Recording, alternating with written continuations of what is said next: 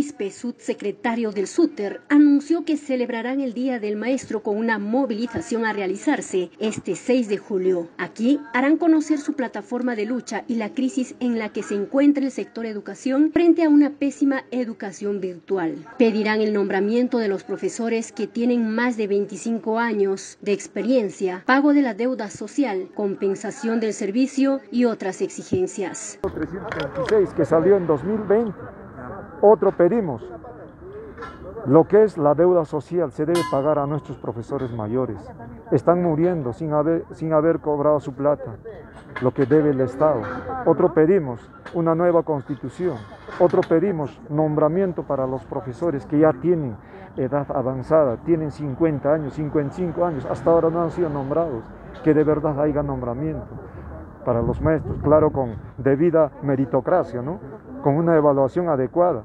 Otro pedimos también el pago, lo que es la compensación de tiempos de servicio al 100% para el maestro. No debemos, uh, uh, no debe mirar con indiferencia el Estado, ya debe firmar ese decreto, esa resolución, esa ley que se ha salido al 100% que se debe pagar uh, la CTS al magisterio, falta la firma del señor presidente, entonces debe ya priorizar. Otro pedimos también lo que es alto al costo de vida, señor periodista.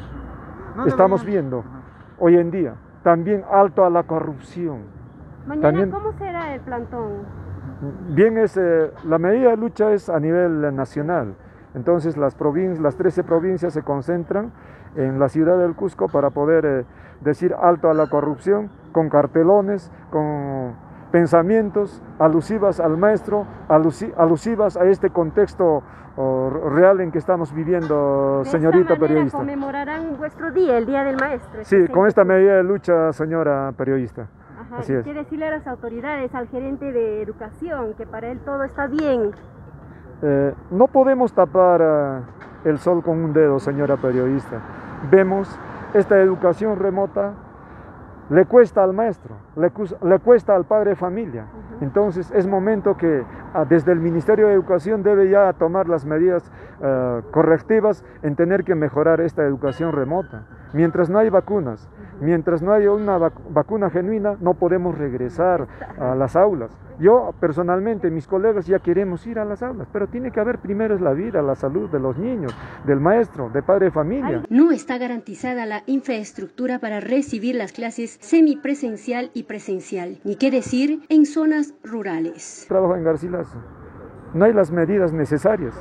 No hay un tanque de oxígeno en Garcilaso. Usted pueden ir a investigarlo. No hay oxímetro.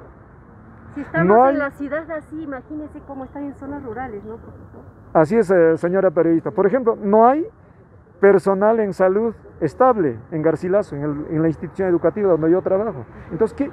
Peor está en las instituciones, en las provincias altas, en la comunidad última donde eh, funciona una institución educativa, sea primaria, inicial, secundaria. Entonces, yo le hablo de Garcilaso, no hay las medidas necesarias, no hay un médico estable en Garcilaso. Entonces, para para llevar adelante, para luchar por la salud de los niños, tiene que haber las medidas, los, los servicios básicos, ¿no? Para poder eh, llevar adelante esta educación presencial o semipresencial que queremos uh, retornar. Uh,